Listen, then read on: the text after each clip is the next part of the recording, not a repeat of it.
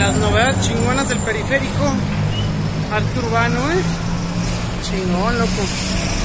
Creo que también por allá. No me equivoco. Eh, activos, activos.